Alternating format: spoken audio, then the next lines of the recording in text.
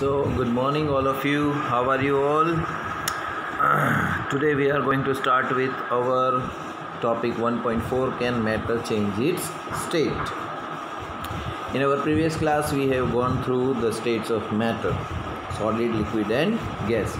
अभी क्या मैटर एक फॉर्म में से दूसरे फॉर्म में अपने आप को चेंज कर सकता है या हम उसको चेंज कर सकते हैं that we are going to see we all know from our observation that water can exist in the three states of matter solid as ice liquid as familiar water and gas as water vapor पानी एक ऐसी पदार्थ है जो तीन तरीके से उपस्थित so water is the only substance that can state in all the three states solid liquid and gas what happens inside the matter during this change of state what happens to the particles of matter during the change of the states how does this change of state take place we need answer to these questions isn't it चलो मान लेते हैं कि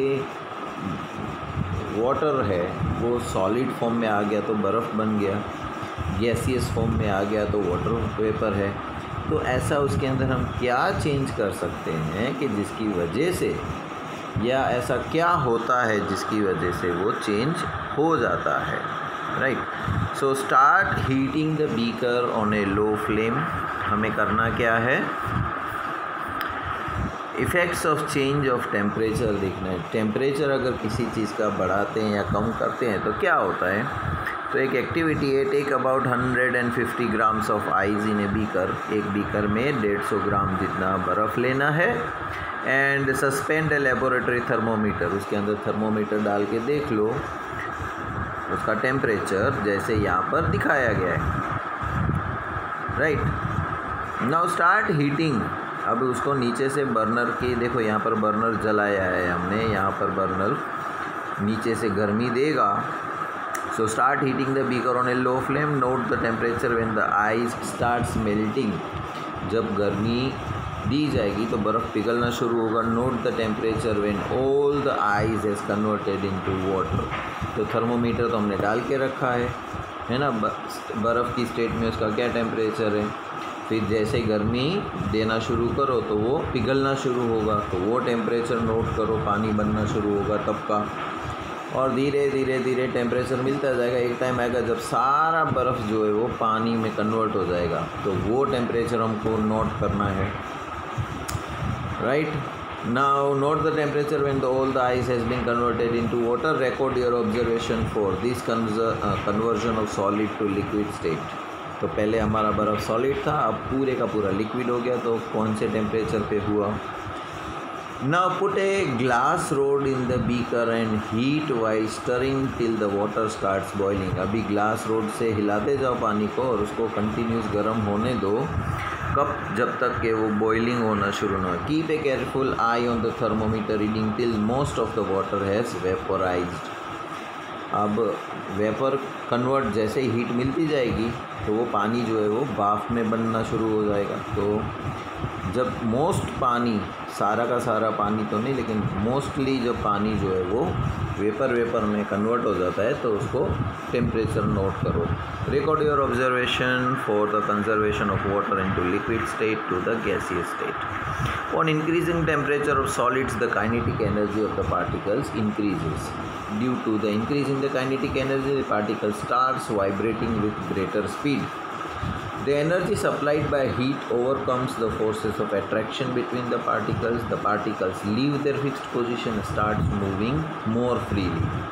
A stage is reached when the solid melts and is converted to a liquid. The minimum temperature at which a solid melts to become a liquid at the atmospheric pressure is called its melting point.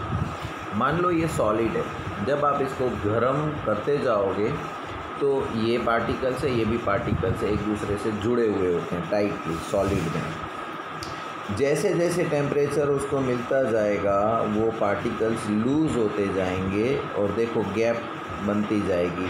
Right right right right हाँ। अब ये particle पहले ऐसे थे तो उसके पास moving करने के लिए कोई ज़्यादा जगह नहीं थी। लेकिन अब जब इतने अपार्ट हो गए हैं तो आराम से इतनी मूवमेंट दिखा सकते हैं। Right?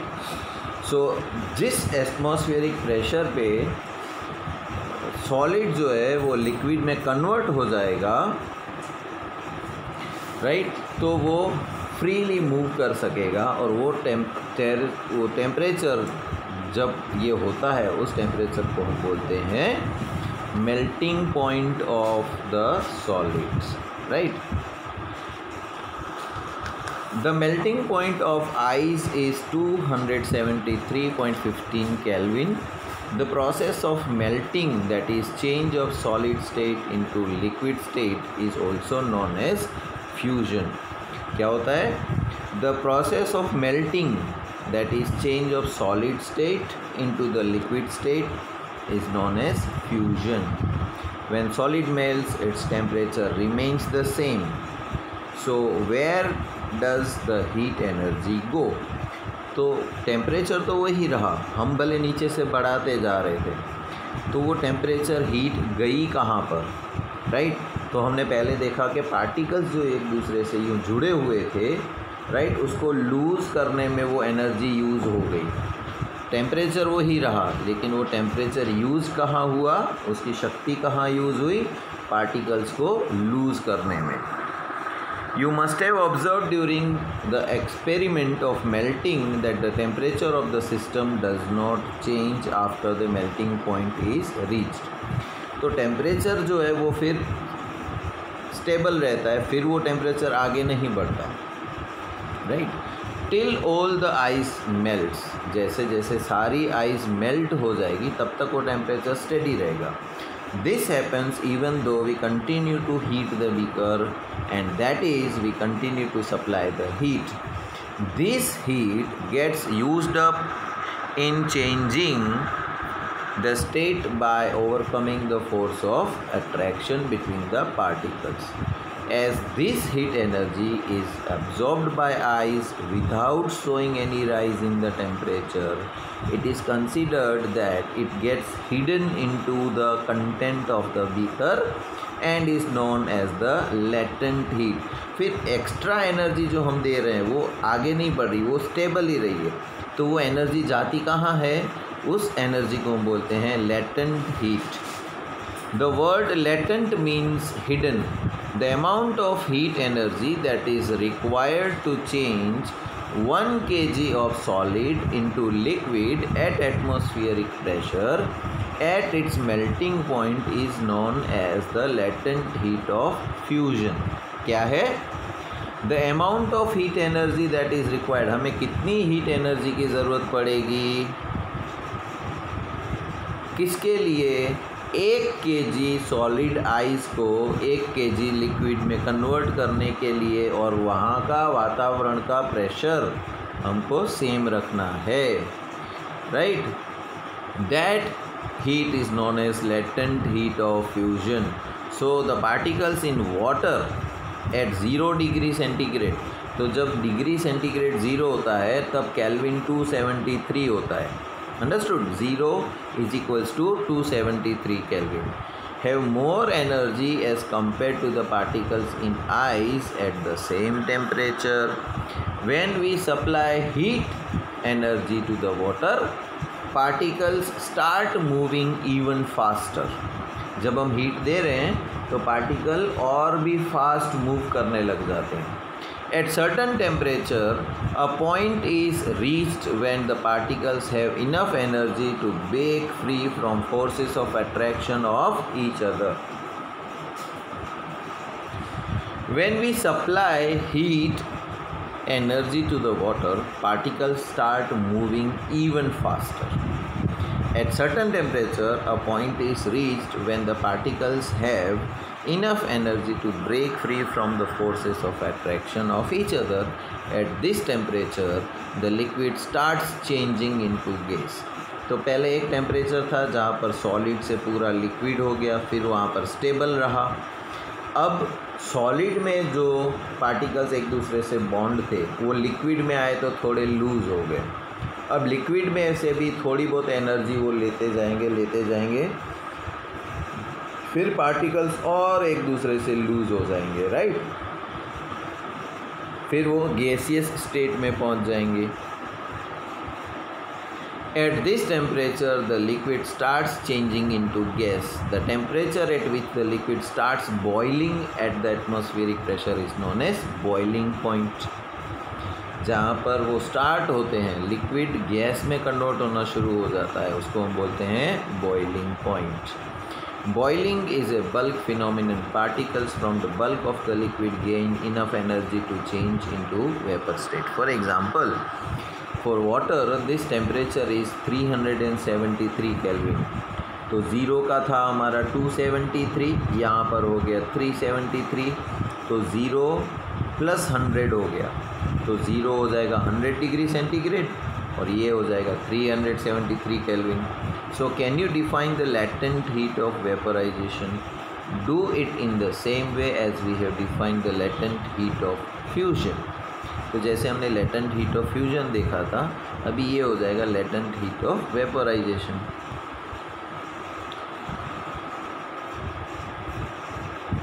particles in steam that is water vapor at 373 kelvin have more energy than water at the same temperature this is because particles in the steam have absorbed the extra energy in the form of latent heat of vaporization तो यहाँ पर देखो समझाया गया solid state से liquid state में heat देंगे तो सॉलिड लिक्विड में जाएगा और लिक्विड को ठंडा करोगे तो वो सॉलिड बन जाएगा। फिर लिक्विड को गर्म करोगे तो गैस में चला जाएगा और गैस को ठंडा करोगे तो लिक्विड में हो जाएगा। So we infer that the state of matter can be change into another state by changing the temperature तो जब भी हम किसी चीज़ का टेम्परेचर चेंज करते हैं, या बढ़ाते हैं, या घटाते हैं तो उसकी स्टेट चेंज हो जाती है। We have learned that substance around us change states from solid to liquid and from liquid to gas on application of heat. But there are some that change directly from solid state to gaseous state and gaseous states to solid states या without changing into the liquid ऐसे भी कुछ substance हैं जिसको हम change करेंगे directly एक state solid में से हमको क्या है कि सॉलिड में से लिक्विड लिक्विड में से गैस। नहीं, अगर कोई डायरेक्ट छलांग लगाएगा, सॉलिड से सीधा गैस बन जाएगा, लिक्विड नहीं बनेगा बीच का। तो उसको हम क्या बोलेंगे?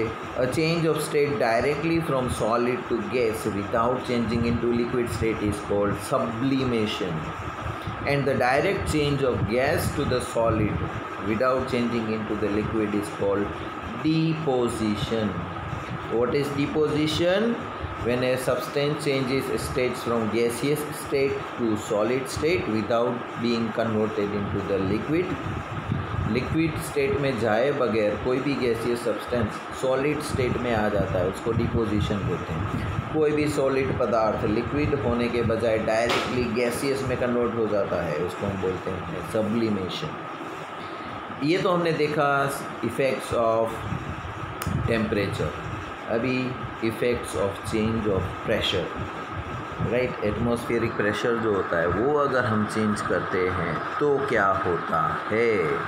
Right probably this will be the last topic, i guess. Yes.